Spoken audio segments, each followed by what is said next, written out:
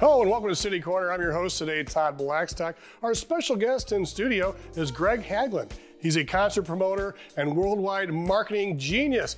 He'll join us today. We'll talk about concerts coming to St. Louis and the music industry as a whole. So stay with us for City Corner coming up next on STL TV.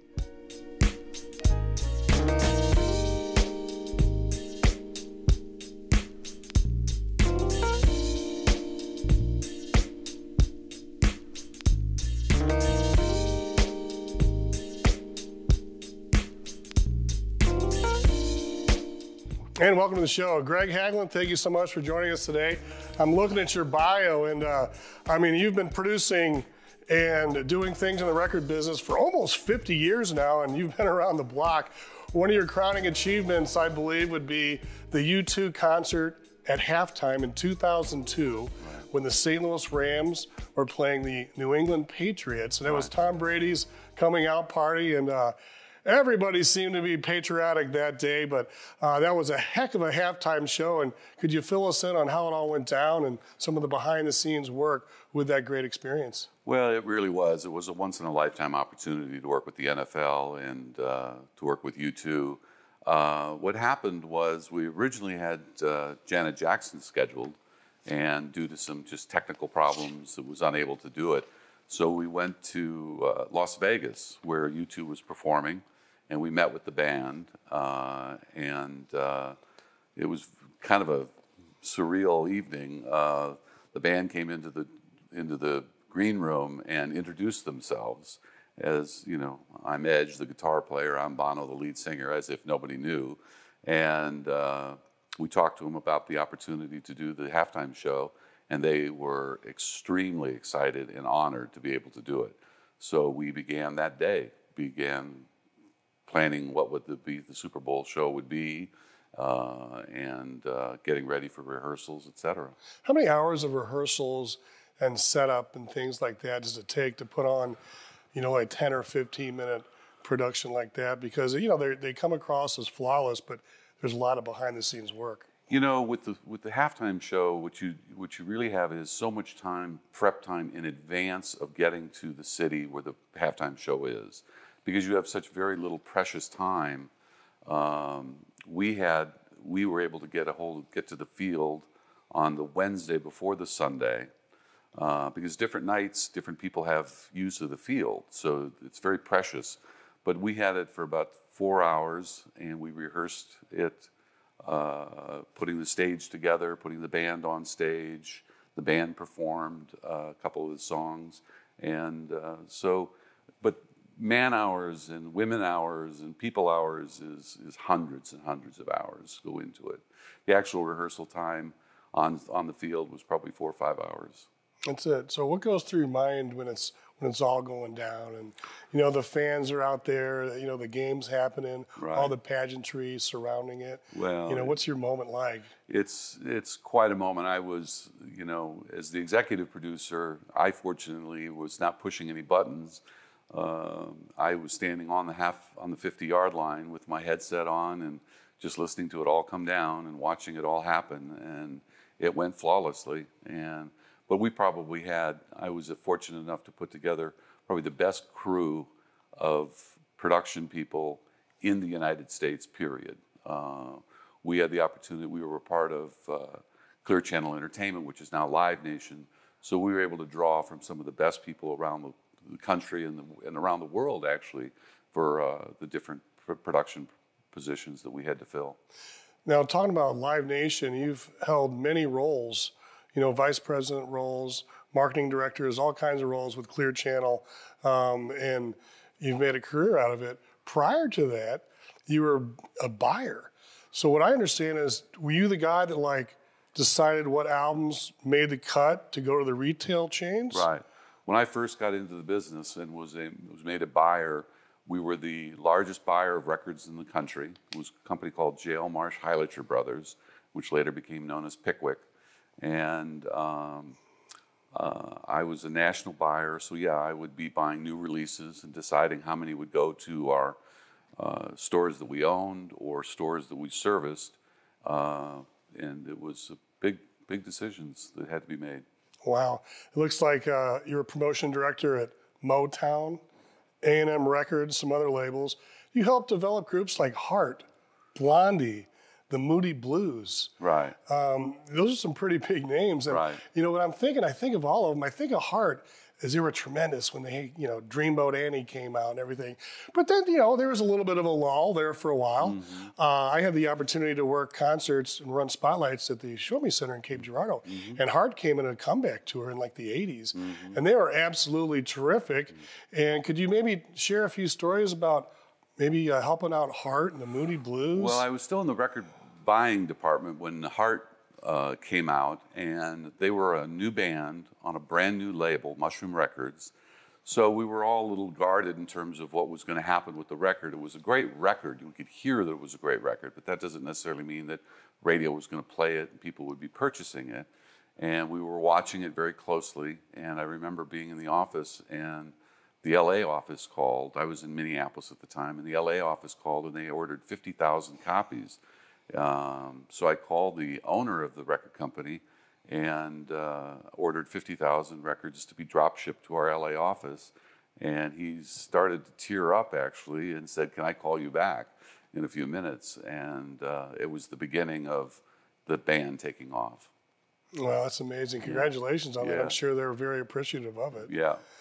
And as I moved on in the record business, I went from being a buyer, and then that's where the reason I moved to St. Louis was to be a promotion person. And I worked the Heart Records and the Moody Blues and some different label, different labels as well. Yeah, tell us about the Moody Blues. I mean, one of the all-time greatest classic rock bands ever from England. How did you end up uh, collaborating with them? Well, we did, you know, they were obviously a well known and a very established band by the time I got on the scene. But uh, we had some great opportunities and did some great promotions with them and uh, got tremendous airplay on their albums all across the Midwest. Uh, but, uh, you know, Justin Hayward and the rest of the guys, so we still work with Justin Hayward. Steve Litman produces him quite often around the country and speci- spec- specifically St. Louis. And, uh, you know, he's just a gentleman to work with and always been great to work with the Moody Blues. You know, I see you worked with Blondie. Mm-hmm. Uh, that must must have been quite an experience. I I think immediately of like Studio 54 in New York Mm-hmm. because when all that was going down in like the late 70s and uh, it, it was so much fun. I think of Blondie. Did you ever make it to Studio 54? Because I'm thinking of, of a record executive. Right. You know, you probably got to hang out with some of the bands and musicians. And did you ever uh, take a trip through that place? No, we never made it to Studio 54, but we did used to hang out with the bands in some pretty unusual places over the years. You know, we would be in some towns and find the hottest club in town and end up, uh, you know, being being treated like VIPs if we were with the band. So I understand you still do some work with Peter Frampton. 1976, Frampton Comes Alive comes out. It's one of the greatest all-time live records everywhere. Uh, with "Show Me the Way," "Do You Feel Like We Do," that you know that broke major ground, and uh, Peter was was huge. And then all of a sudden, he did this movie called uh, Sergeant Pepper's Lonely Hearts Club Band with the Bee Gees and him, and it seemed like Aerosmith made cameos and Alice Cooper, Steve Martin, but somehow Peter Frampton kind of got a, a little bit of a bad rap from that movie. What were your thoughts? Well, I thought it was a great movie. I really did. It was a pop pop culture. Uh, I thought I thought everybody did a great job in it. And Peter's been, you know, when I was in the record business, I was a buyer for A and M Records, and uh, uh, those were some pretty heady days when that album came out. Uh, Frampton Comes Alive, and uh, and we've done dates with him subsequently, both his contemporary productions and Steve Litman presents. Uh, another true gentleman in the business. I mean, he made a great move from humble pie to solo, you know, just about the right time there. Growing up, we used to go to Peaches Records and on Manchester Road and Baldwin and buy our records. And we used to get our concert tickets at the record stores too. And we would do this thing where we would get a line ticket the day Right. before. That was like the key. Right. And we got like line tickets to Eric Clapton one year, and um, we get second row and ninth row and eleventh row. We skip school, we get it. And he ended up not even making the concert because he got sick. But if you look back in the day when you would get the paper tickets, you would go wait in line. I remember waiting at, you know, a camping out for tickets to baseball games, concerts. Mm-hmm. It's a whole new world now. They don't do it like that anymore. No, no, it's uh, uh, it's it's milliseconds it takes now to purchase tickets, and uh, uh, you know it's it's a a much different game than going over to the Orange Julius store, that's for sure. Do you think uh, that's better for the consumer in the long run? Because, I mean, it seems like the young people, they just pull up their phones, they get their tickets, and some of the older people, they get they got to think about it for a minute and, right. and, get a little bit of help and service. Right. I think eventually they'll come around to it, but how has the transition been? Oh, it's been great. I mean, you're able to sell, you know, thousands and thousands of tickets in a relatively short period of time. It's much easier for the consumer now. Uh, go online, either on a computer or, like you said, on their phone. Uh, makes it much easier. Um, you know, it's a it's still technology, and there's still problems with it from time to time. But overall, it's it's it's a much better way of distributing tickets to shows and events. Well, you've got a lot of concerts coming to town. We want to talk about that. So let's sure. take a quick break and we'll come back with Greg Hagglund uh, from Hagglund Marketing and Promotions. Talk about some great shows coming to town and some more about the music business. Stay with us.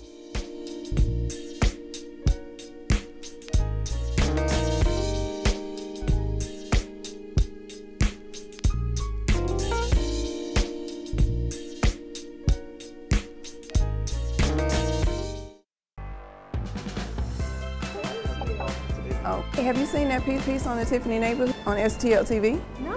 Let me show you. My wife and I were looking for homes. We lived in the city all of her life, and there's just a, a different energy when you're in, in the city. Keep up with what's happening in your neighborhood. Watch STL TV. Be in the know.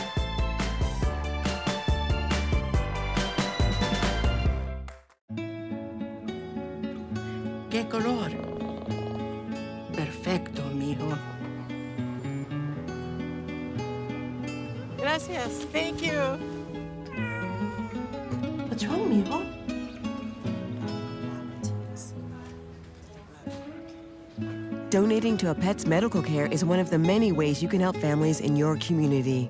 Pets and people belong together. Learn more at petsandpeopletogether.org.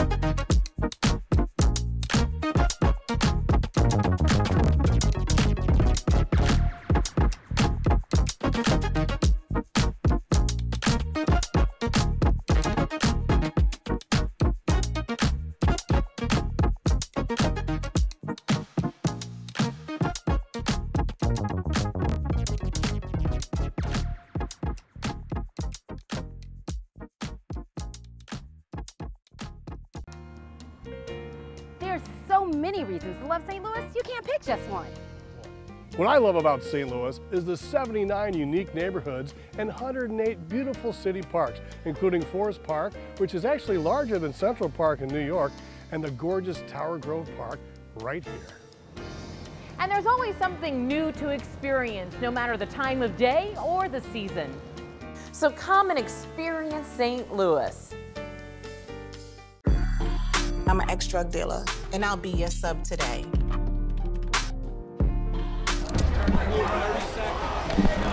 Two milligrams of fentanyl can be lethal. A lethal dose is in here. Who gets it, I won't know. It's cheap, it's potent, and it's profitable. The sad reality is fentanyl is being mixed into everything now. More kitchen now. You know, how you feel on the inside yeah? is just as important to me as how you feel on the outside. Oh, Daddy. I'm grown up, grown up, everywhere in every way, care and take care of you. You're my grown up, and I know you're there. I'm your grown up, and you know I care. Cause it's you and me and me and you. So when you are okay or not okay, I'll take care of you.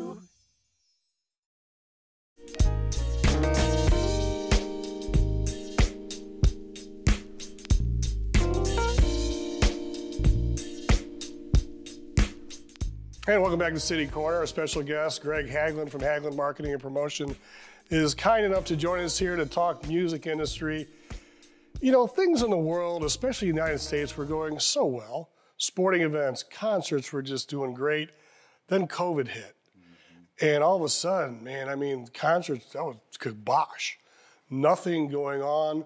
All these bands, and, you know, the big time bands, they were okay. You know, they've made their mark, they've made their money, and they're, they're touring just to have fun and maybe pay for their castles. Right. Um, but a lot of the mid-range and smaller bands and the behind-the-scenes people were really hurt. A lot of the concert venues, and you were uh, with a group that did a lot to help people in the music industry survive and get through that hard time. Would you, you know, maybe walk us through some of the things you did? Sure. Yeah, I'm a board member of a group called St. Louis Classic Rock Preservation Society, which is dedicated to preserving the history of, of pop music and rock and roll and music in general in the St. Louis market. Uh, and uh, one of the things that we first uh, had realized that when COVID hit was that the people in the live mu- music business, that uh, from bartenders to lighting operators to sound people to production people to local bands to venues were all completely out of business. And uh, we came up with a program. Uh, we worked with Hubbard Broadcasting, with KSHE and WIL and uh, The Arch and The Point to come up with a program called Keep Live Alive.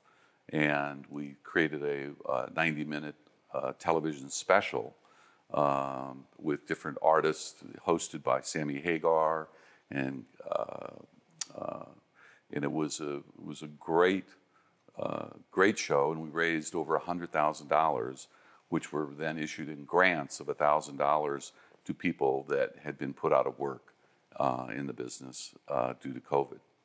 So how is it coming around now? You know, the shows are back open. People don't have to wear the masks anymore. What's the state of the live music industry right now? It's great. It's very healthy. It's back. It's back. Um, almost too much sometimes, it seems like. Uh, but you've got new venues popping up. Uh, the factory out in Chesterfield, uh, the City Winery down in the uh, down downtown.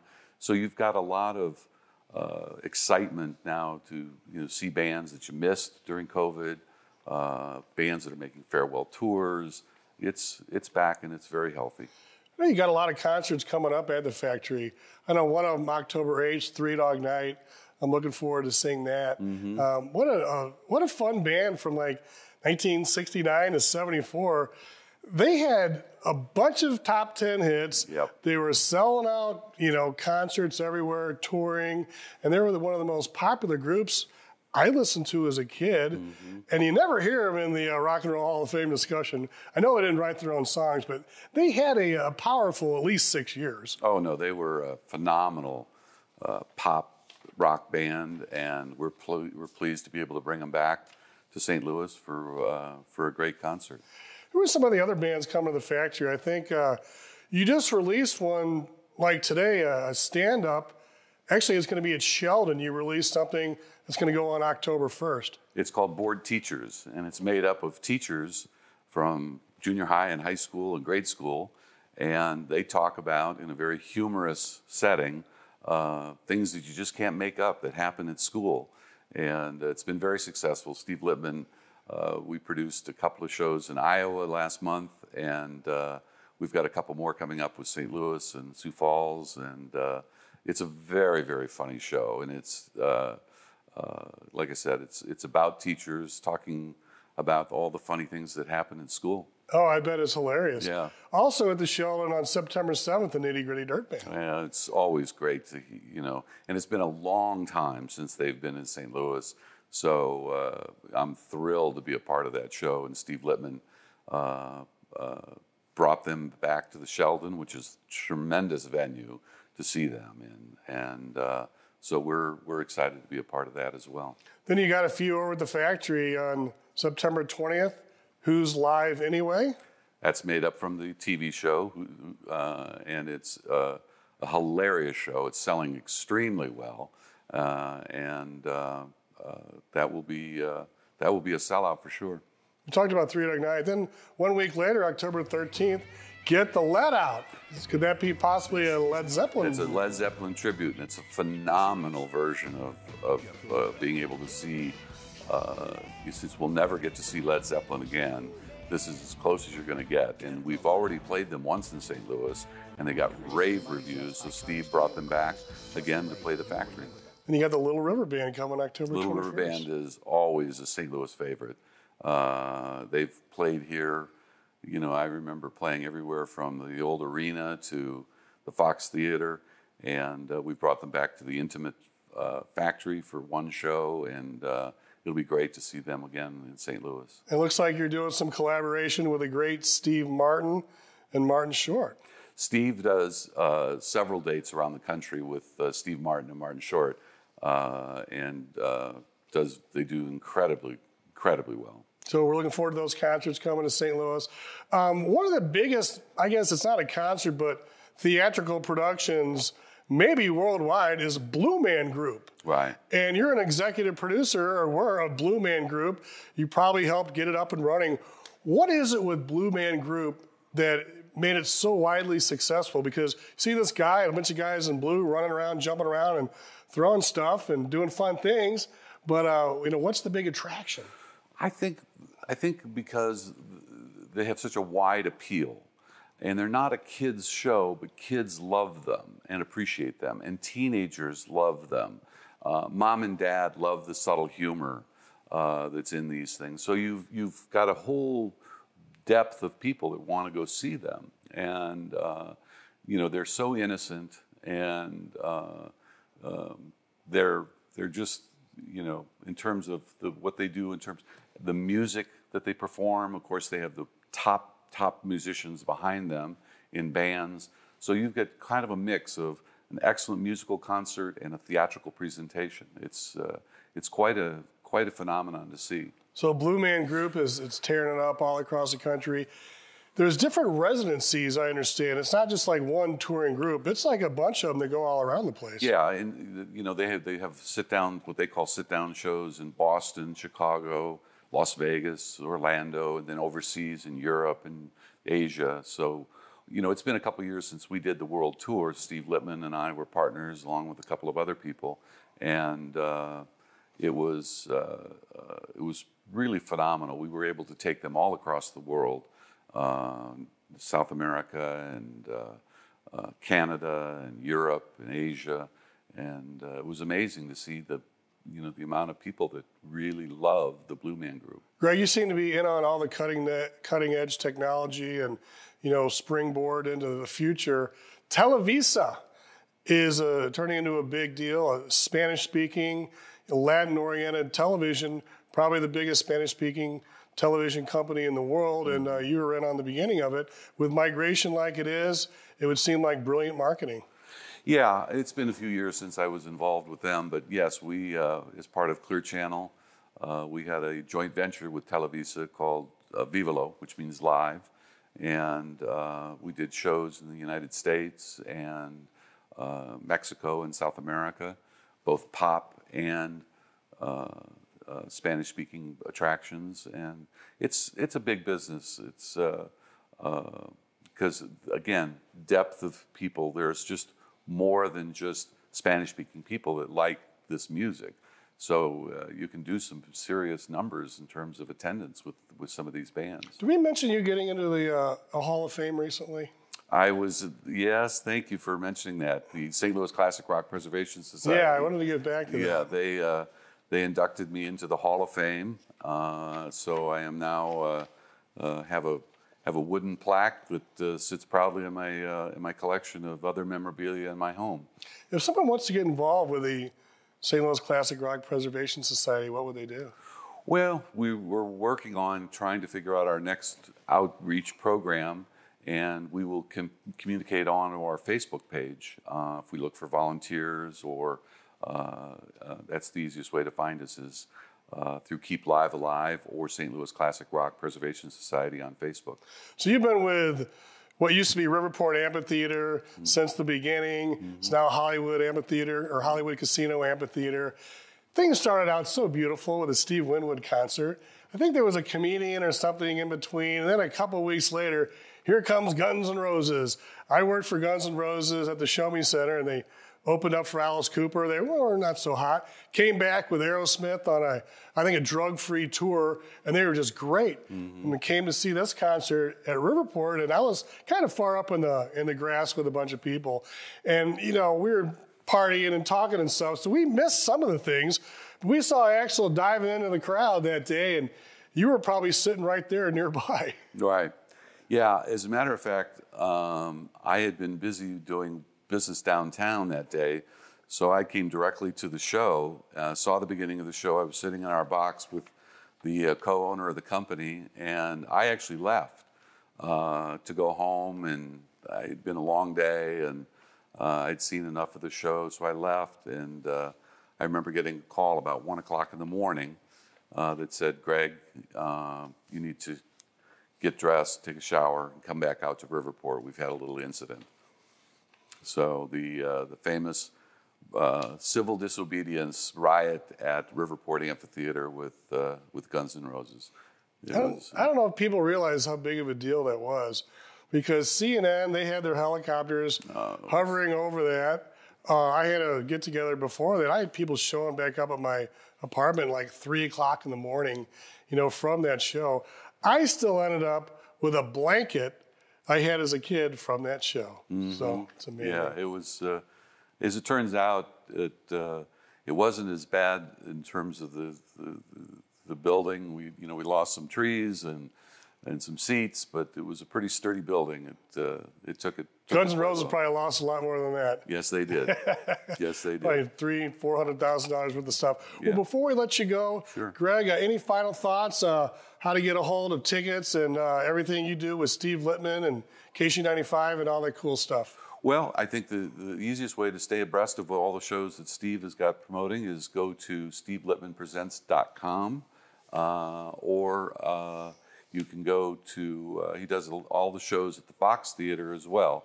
So you can go to the Fox website as well to check the pop concerts that are being presented by Steve there as well. We appreciate it. Well, Greg, thanks a lot for joining us on City Corner. Thank you very much. Well, that's our show for today. We'd like to thank Greg for joining us. We'd like to thank Julie Lally from Inside PR. We'd like to thank you for watching City Corner on STL TV. Experience St. Louis.